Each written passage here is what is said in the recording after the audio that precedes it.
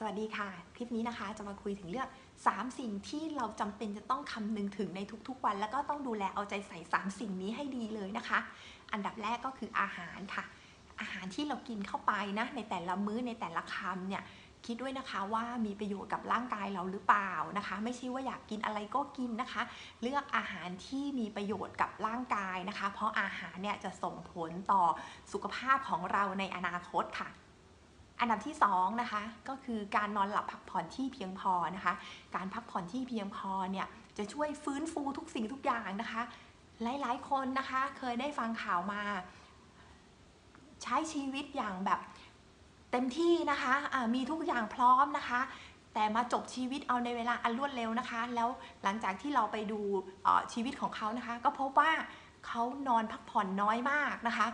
ดังนั้นเนี่ยการนอนพักผ่อนที่เพียงพอเนี่ยจำเป็นมากๆเลยนะคะ เวลาเรานอนเนี่ยร่างกายก็จะช่วยฟื้นฟูส่วนที่สึกหรอนะคะ แล้วยังช่วยในการเผาผลาญอาหารในร่างกายด้วยนะคะ นั่นแหละค่ะการนอนเนี่ยสำคัญมากๆเลยนะคะจำเป็นเลยค่ะที่เราจะต้องนอนพักผ่อนให้เพียงพอนะคะ อันดับที่3นะคะก็คือจิตใจของเราค่ะ เราจะต้องทำจิตใจให้ บริสุทธิ์นะคะ คือทำจิตใจให้ผ่องใส ควบคุมจิตใจตัวเอง อย่าเกลี้ยกล่อมอย่าโกรธ คือต้องคุมตัวเองให้ได้นะคะ มีจิตใจที่มีเมตตาต่อผู้อื่น รู้จักให้อภัยผู้อื่นนะคะ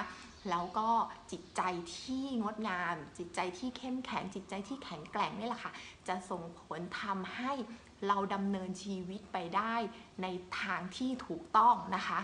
แล้วก็จะทำให้ชีวิตเราก็จะดียิ่งยิ่งขึ้นในทุกๆวันค่ะ นั่นก็คือ 3 สิ่งที่เราจะต้องคำนึงถึงในทุกๆวันนะคะ ก็คืออาหารการพักผ่อนที่เพียงพอและจิตใจที่งดงามค่ะ ในในวันนี้ก็ฝากไว้นะคะ อยากให้ทุกๆ คนคำนึงถึงเรื่องเหล่านี้ค่ะ สวัสดีค่ะ